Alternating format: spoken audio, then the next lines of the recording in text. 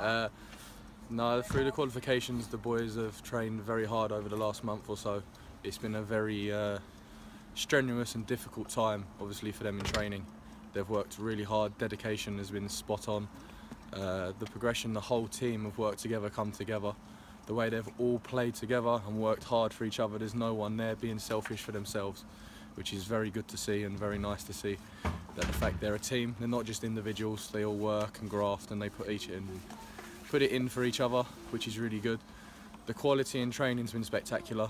Uh, some results through the qualifications were, I'd, I'd, say, weren't fair on us, but that's the way football goes. Obviously, at times, um,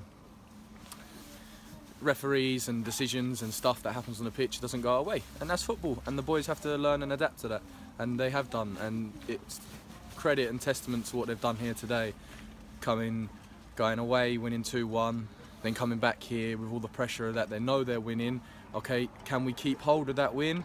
They went out, they got the goal early, which was good, settled a bit of nerves after a penalty which Oliver saved, which was fantastic, and then the person that gave the penalty away goes up the other end and scores the goal. So it's it worked out in the end, and the boys should be very pleased and proud of what they've achieved. And uh, it's been a real privilege and honour to coach them over the last month or so. So I wish them all the best for the future.